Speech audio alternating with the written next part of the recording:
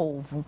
Bom, a gente vai falar agora sobre chikungunya. Muita gente conhece alguém que, que pegou ou já foi vítima também da febre da chikungunya, né? Aquela febre altíssima, misturada com dores intensas nas articulações dos pés e das mãos, além de dedos, tornozelos e pulso. É uma dor terrível e que parece que não passa. Em muitos casos, isso realmente acontece é, porque as dores elas acabam se tornando crônicas. E hoje a gente recebe aqui no estúdio a reumatologista, a doutora Joelma Norões, a quem eu dou um bom dia, agradecendo a participação no programa. Seja bem-vinda, doutora.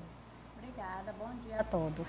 Olha, eu queria primeiro explicar para quem está em casa como é que acontece é, essa contaminação pela chikungunya. Então, a chikungunya, ela acontece muito nesses períodos chuvosos, né?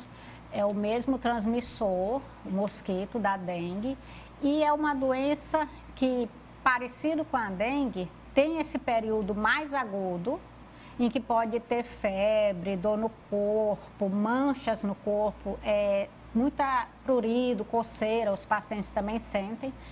Mas o diferencial é que é, a doença migra muito para as articulações. Então, passado esse período mais agudo, ali em torno de 10, 15, 15 dias, começa a fase subaguda da doença e depois a fase crônica em que os sintomas articulares são é, predominantes. Né? Gente, né? Então, sai aquela fase de febre, de indisposição e fica só os sintomas articulares. E é incrível como a, é, as articulações doem muito, né? Minha produtora Aline, ela teve chikungunya recentemente e ela realmente sofreu muito, né? Então, assim...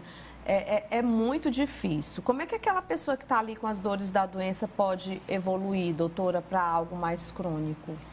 Então, as articulações preferidas da chikungunya, principalmente como você falou, mãos e pés. Uhum. Então, fica aquele quadro que é meio impossibilitante, né? Porque a pessoa fica com dificuldade para andar, fica com dificuldade para exercer suas atividades profissionais, né? Todo mundo precisa de mãos para fazer suas atividades. Então, esse quadro muito inflamatório, que vai ali em torno de 15 dias até 3 meses da doença, que a gente chama de fase subaguda. É muito doloroso, principalmente em mãos, pés, acomete também joelhos, ombros. E é importante falar que o paciente também pode ter dor na coluna, principalmente na coluna cervical. Então, uma, uma dor chata no uhum. pescoço que parece um torcicolo, que também limita o movimento, né? E não consegue fazer a mobilização da cabeça e do pescoço. Então, esse é o, é o quadro clínico articular principal e que pode ficar ali nos pacientes que evoluem para a doença mais crônica, de três meses, que é a subaguda, ou até mais do que três meses, que é a doença, já a fase crônica da doença. Existe o tratamento ali para lidar com a doença no momento em que ela está na fase mais aguda? Mas há também a questão, então, do tratamento pós-chikungunya, né, doutora? É, existe, precisa se fazer realmente o tratamento. Nessa fase aguda, vai direcionar para essa parte mais de febre, de dor no corpo, de indisposição, às vezes é, não tem vontade de se alimentar. Então, assim, a gente recomenda nessa fase mais aguda intensificar a hidratação, analgesia, né, medicamentos para melhorar a dor e espera-se que isso vá se resolvendo, né? Uhum. A maioria dos casos até se resolve ali em torno de 15 dias. Mas existem casos, não é a maioria, né? Existe uma, uma parcela de casos que a doença vai cronificar principalmente aquelas pessoas que já têm algum problema articular. Hum. Né? Então, aquela pessoa que já sentia alguma coisa, ou que já tinha alguma doença reumática, que já tinha uma dor ou outra. Então, aquela articulação, depois dessa inflamação inicial, ela pode ficar mais danificada, ela pode ficar com mais lesão e com mais é, dor crônica. Aí as pessoas dizem assim, ah, eu nunca fiquei bom da chikungunya, né? A gente então, diz assim, é tem aquele, aqui um quadro... É, é como se fosse aquele grupo mais propenso é, a desenvolver essas tem, dores crônicas por um tempo bem maior, é, né? que já tem um quadro inicial e a chikungunya veio dar aquele gatilho, né? Uhum. Para ficar com esse quadro mais crônico. Uhum. Então, o importante realmente é prevenir para evitar problemas futuros, né? Como é. a gente previne a chikungunya? É, é, meio que difícil, né, é. doutora? A prevenção é mais, é, é mais aquela aquela parte que a gente enfatiza tanto, né? De não deixar água os acumulada, cuidados em casa. Né? os cuidados em casa, usar o repelente, não deixar a proliferação do mosquito em casa. E a fase aguda, que é essa muito sintomática de dor, tem que se fazer esse tratamento não só com analgesia, mas também com hidratação.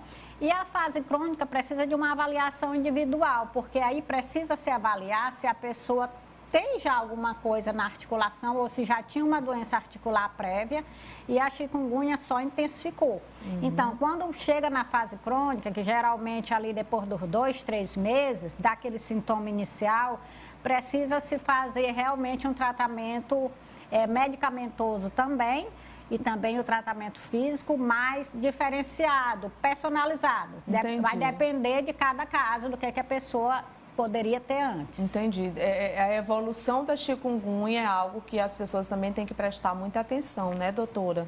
Porque é, ela pode vir de forma branda.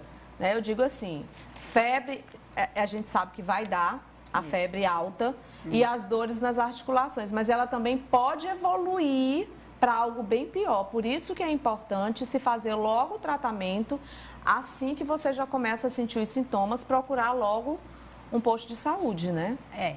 Isso. A febre, ela acontece ali em torno de um, dois dias, não mais do que três dias. Às uhum. vezes fica mais, a, é, a, febre até cessa, fica mais aquele sintoma de indisposição, de diminuição de apetite, de dor no corpo, né? E o quadro articular, ele vem desde o início, uhum. desde a fase aguda e pode permanecer na fase subaguda e crônica. É, tem gente mandando mensagem aqui, inclusive um telespectador perguntou se tem problema tomar medicamento sem, a, sem receita. E aí eu já aproveito também para falar, cuidado com a automedicação, gente, em qualquer circunstância que seja. É. Né?